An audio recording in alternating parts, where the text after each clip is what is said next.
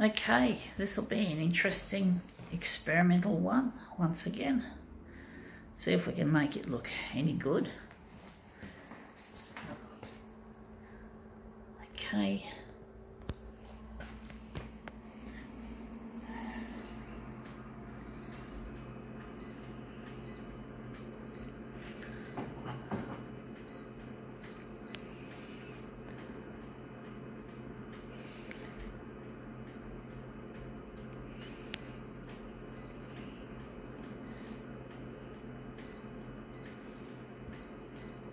Going to make it not too light.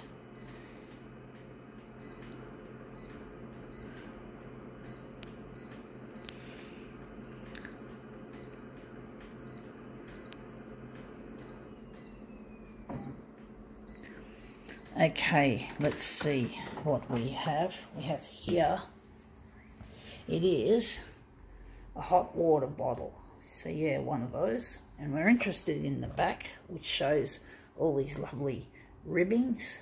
So we're going to make this into something interesting. Uh, we're going to make, we're going to put this end over here. We're going to keep the text up there. I'm going to make this into something interesting. See, we've moved it around. Let's see if we've made this look good.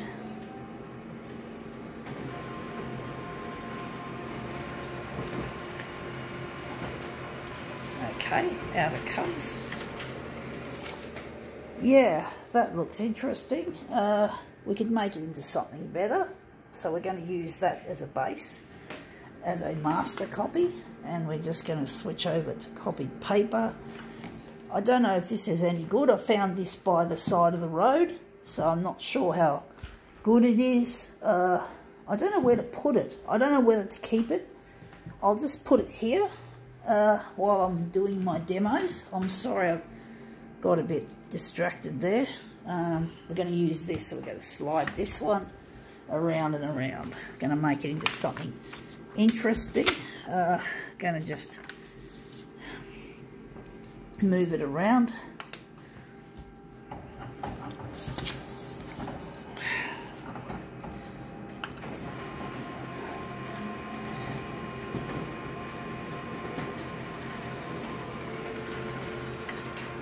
Okay, out it comes. Yeah, that's become a lot more interesting. Uh, wondering if we're going to maybe, maybe we can drop it to 100 and see what we can get from that. So we can get more of the design out of it. So I'm just going to slip and slide it.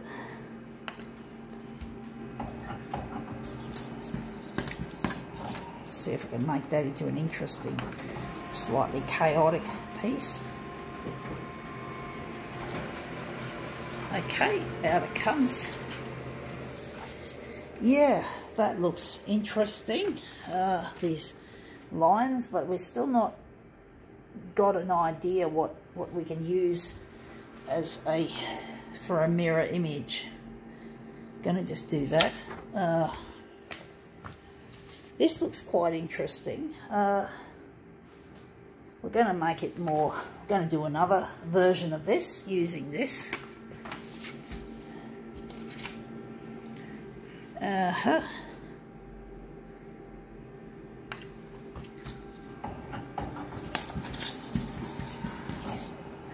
Yeah, we got a bit stuck there. Hopefully that's a happy accident. Okay, out it comes.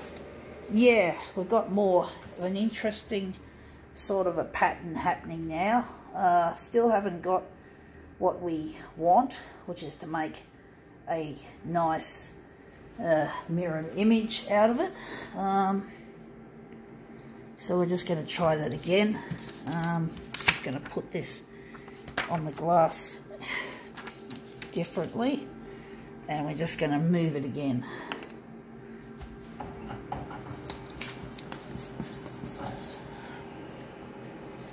Difficult trying to find to get one where there's a really nice uh, pattern that lends itself well to mirror imaging. And yeah, this looks really nice. This looks quite nice. I think we could perhaps use this corner and maybe enlarge. So I think that looks really quite nice. Uh, so now I'm just going to switch over to this one. And, oops, I just pressed a button I didn't want to press. Yeah, uh, I don't know what happened there, folks. Um, silly, this user interface. It's really quite... Yeah, we don't want that. See, this user interface is a distraction. Uh, and if you don't know what button you pressed, you're going to wonder what the fuck has the machine done. So it's really, it's really a distracting sort of a user interface. It's not the good, not good. Anyway, we're photocopying roughly this section. But yeah, photocopiers are not really well thought out. You get the feeling there, well the companies are, the companies are huge money-making concerns and they don't show any concern for the environment or the uh, human race.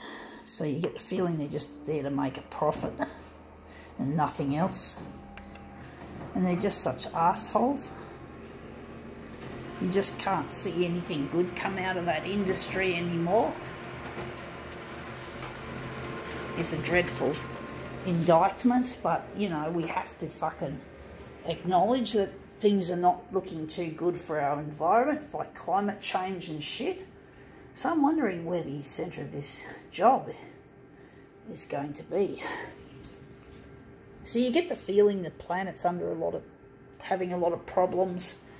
Uh, well, we don't know, but the coronavirus is another issue that we have, um, but that was that's not so much a corporate issue, but someone apparently, it was something to do with animals.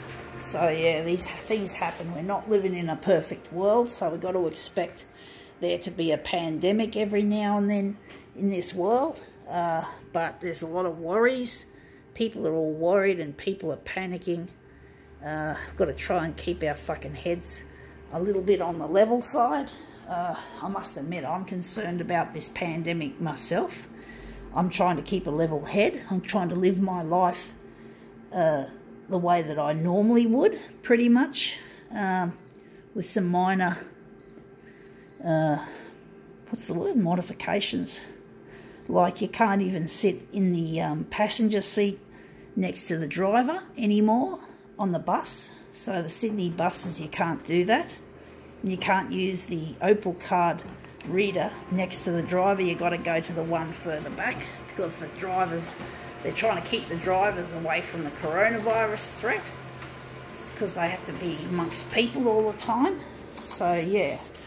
Uh, but we can't do much. We have to just take the advice from the authorities and do our bit. Uh, but I'm not going to go into, fuck, we don't need to panic over shit. You know, we've got to somehow see something good will happen, that things will go back to normal again. Uh, things will improve, hopefully, in this world. Uh, I'm not afraid of dying, folks.